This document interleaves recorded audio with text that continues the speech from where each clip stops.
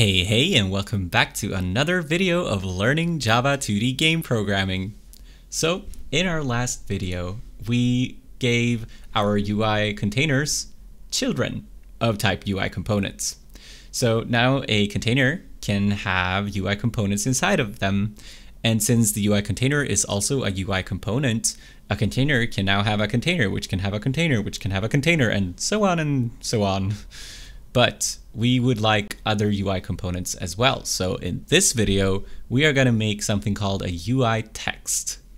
So we can finally see something on the screen. So let's get to that. First, find your UI package and create a new class, and I'm going to name mine UI text. So the UI text extends UI component. Let's implement these abstract methods. All right, let's think about what members we need.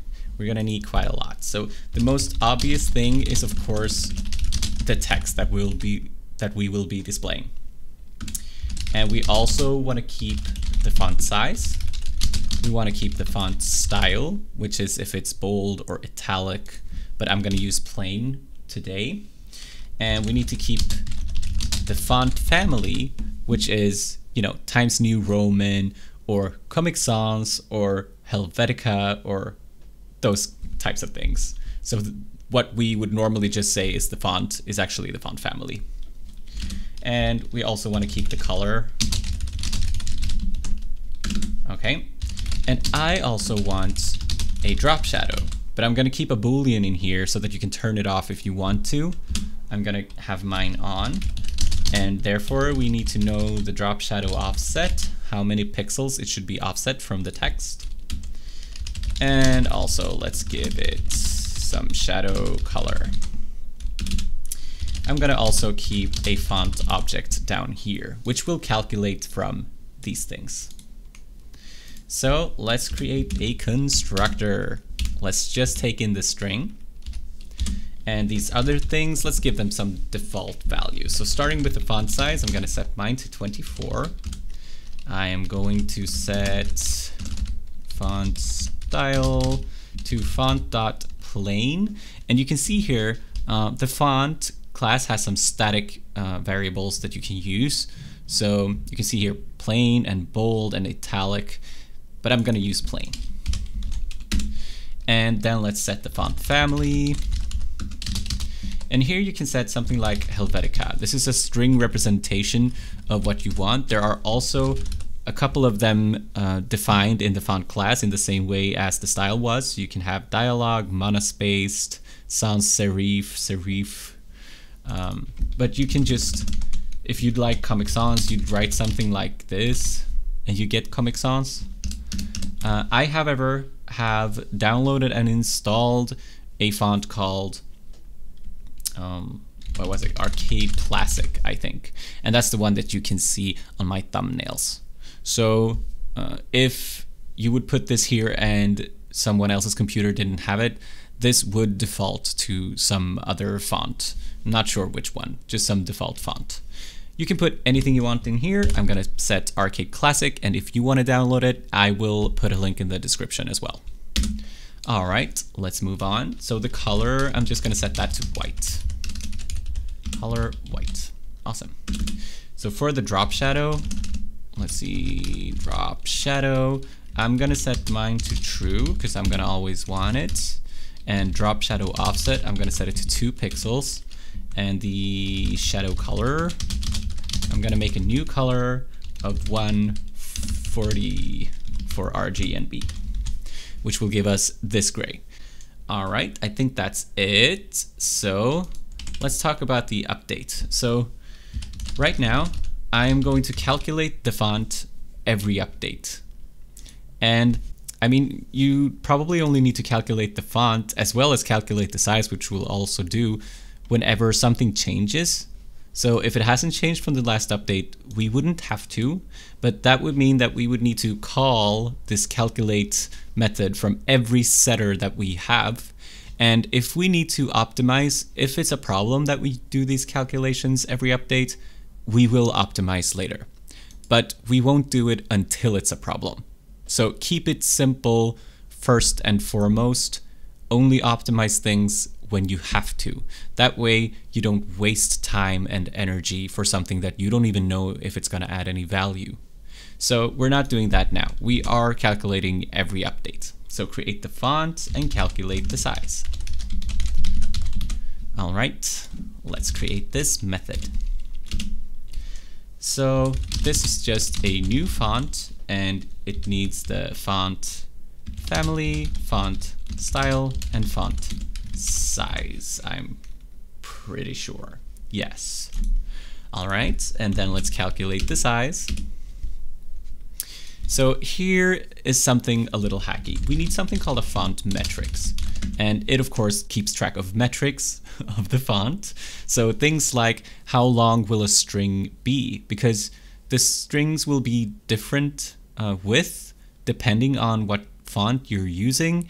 You can't really just use the font size and figure out the width because if it's bold it will be wider or different fonts will be wider so you need this font metrics. It will do this for you. But in order to get a font metrics, I create a temporary canvas. And this feels a little hacky. Uh, if you know of a better way to get a font metrics than to create this object just for that reason, then please write it in the comments. But for now, this will do. So let's just do get font metrics and pass in our font, which we calculated. Now that we have that, we can set our size. So new size and import it. So what we want for our size is, let's first use our font metrics, string width, and we have our string. And then we need to add the horizontal padding. And for the height, let's do font metrics, get height, and the height does not depend on our string, of course, it's only the font. So get padding, get vertical. And then let's close that off. So that should be it for that. Okay, so we've updated, we've calculated the things that we need, and now all we have to do is get the sprite. And you've done this before. So let's see, buffered image, image. We need to cast a buffered image and import that. And let's see, we have image utils. Let's create a compatible image of the size that we have. And let's make it bit masked. All right, let's get the graphics from that. So graphics, image, create graphics. Now we have the graphics. Awesome. Let's now set the font and we have the font.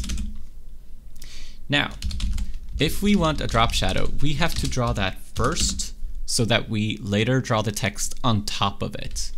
So if drop shadow, then let's say, yeah, let's just do it here because it's only going to be two rows anyway. Otherwise we would have, let's not start there. Uh, let's just say draw string. We give it the string, which is text. And now we need to give it the position where it should draw it. And for the left, let's just do padding get left for the horizontal direction. And for the vertical direction, this differs a little bit from how you draw other things on your graphics. When you draw the text, it draws the text from the bottom left instead of the top left, which is how things usually get drawn, which means that we need to add the font size. So just say font size and then add the padding top. All right. Now that we've done that, I just remembered we have to first, of course, set the color so we get the right color. So shadow color. All right, that's it. Moving on to the actual text. Now we're gonna do the exact same thing, but without the offset, which I of course forgot to add. So drop shadow offset, which was the entire point. All right, there we go. I'm sorry for that. Now we do the same thing without the offset. So first set the color to the text color and then let's draw the string and it's the same thing but without the drop shadow offset. So font size plus padding get top. And then let's do graphics dispose and then return the image. All right, I think this is it. So let's try it out and see if we missed anything. So find your game state. And let's try it. Let's just replace this last container with a new UI text. And I'm gonna write hello UI world. So let's try that out. And look at that, it worked. So now the third child here is a UI text which says hello UI world. So that's awesome. Now if you want to, you can, first of all, I'm just gonna try the light gray here and reduce our padding, or yes, our padding to five. And I'm gonna check that out. Hmm. So it's not perfectly centered, and I think that is for two reasons. So the first one is I'm gonna go to the UI component. I'm gonna not have a margin of, sorry, a padding of five. And I'm gonna instead put that inside of the UI container. It can have a spacing of five, uh, padding, sorry. So this now has a padding of 5, but not every UI component does. And that did a little bit. However, there's still some issues, and I think that's actually because of the font, the Arcade Classic font. If we tried to switch the font to something different, let's do that inside of the UI text, because here we have the default font. So let's give it something like font.monospaced. then it looks a lot better, much more centered. So it does have to do with the font that you use. But I'm gonna keep it Arcade Classic anyway, because I really like this look.